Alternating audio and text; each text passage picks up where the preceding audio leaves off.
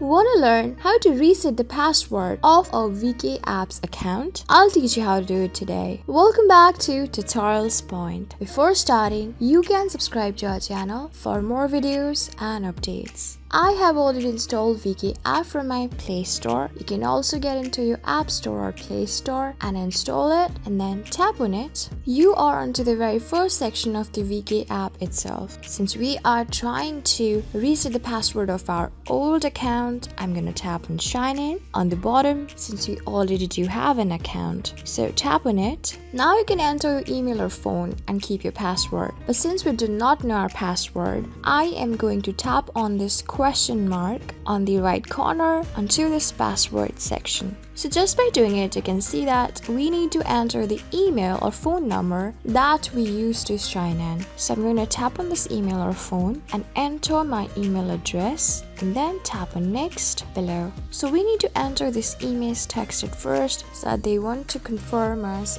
they want to test us that if we are a robot or not. So I'm going to enter the email's text. You can also do the same. When you're done, tap on send on the bottom right. But still, if this doesn't work for you, you can tap on this I can't remember or don't have access to this information. Just vote next. If you remember your profile URL, you can enter your profile URL. But if you don't, you can tap on I cannot remember my profile link below. And here you can just tap your name that belongs to you and that is your particular account's name. And then you can search for it just by scrolling it. Or for your better convenience, you can even filter particular search. For that, you can tap on this pin like icon directing towards each other on the top right corner next to crush. Here you can choose a country and city. I'm gonna tap on my own country and tap on my own city that I had inserted into it. And then I'm gonna choose my gender and filter my age as well so that it could be easier for them to search me. When I'm done, I'm gonna tap on show results on the bottom. So yes, you can just search for your own profile. And yes, that's me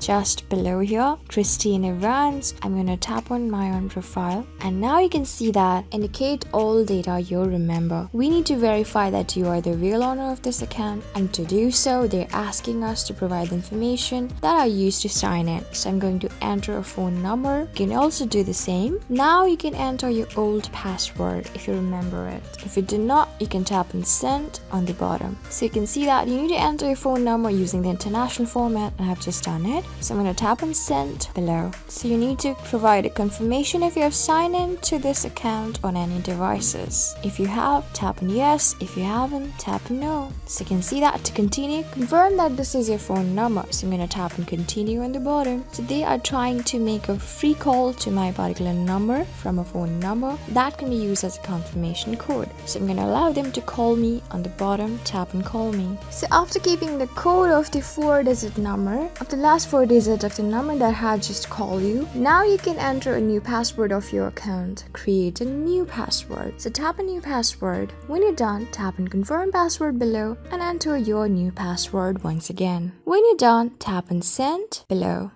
So you can see that your password has been successfully changed. That means you have successfully reset the password of your on VK account. Tap and close below to restore it. And now you can keep your email or phone and your new password and then get Sign In easily. So I'm going to keep it. So when you're done doing both, tap and Sign In below. So this is it. This is how you reset the password of your on VK account. So I hope this video was really helpful for you and I was able to help you. I am going to see you on the next video. Till then, keep calm, stay safe, and goodbye.